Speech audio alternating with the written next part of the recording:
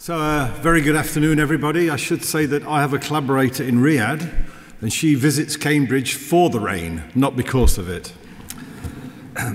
so, uh, it gives me enormous pleasure to welcome you today to the Gulf Research Centre's 14th annual Gulf meeting. Goodness, I can't believe it's so many. I think this is the fourth time I've spoken to you, so I understand if you're getting a bit fed up with me by now. But I really feel I'm part of the establishment. I should say this is my last presentation to you, so I stopped being PVC in two months.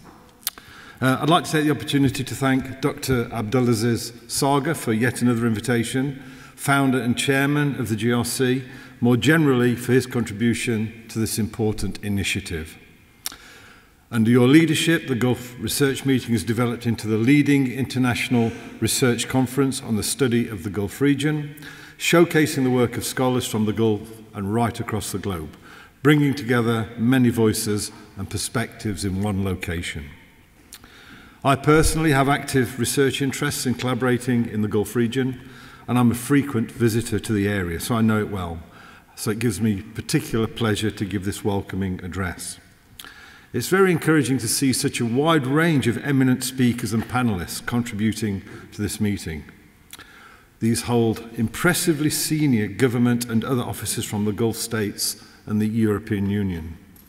Only lack of time present, prevents me from welcoming you again, but you've already been welcomed, and I think you can be overwelcomed. So, uh, but it's very kind of you to be here.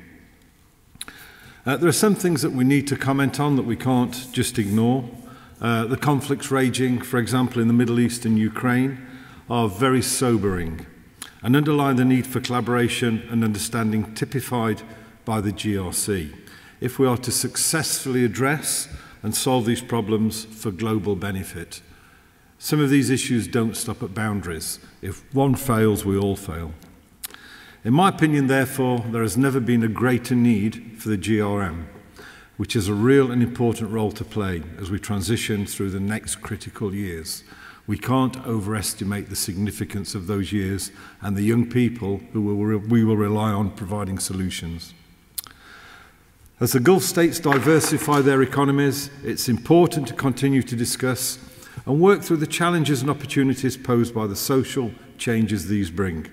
From global warming and climate change, I'd also add an aging population to that, uh, to the ethics of AI, which are widely debated and have already been mentioned in this meeting, uh, to others of increasing global focus.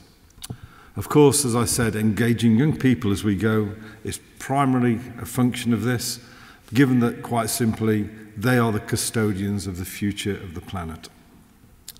The programme for the conference promises real engagement with a wide range of extremely important issues. The individual workshop themes are extremely impressive, and I felt I should mention them.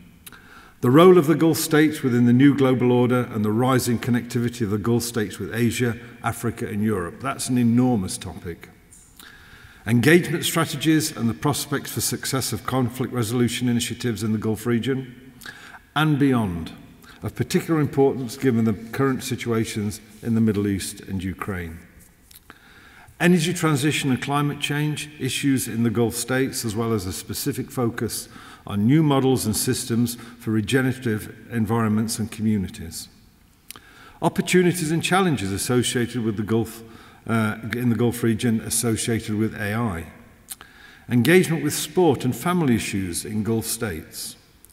Challenges inherent in the move to economic diversification and sustainability. And future migration scenarios to the Gulf states. Of course, all of these issues have an impact on regional behaviour, including the barriers that need to be overcome and the opportunities they present. These are areas that align closely and substantially with research interests at this university.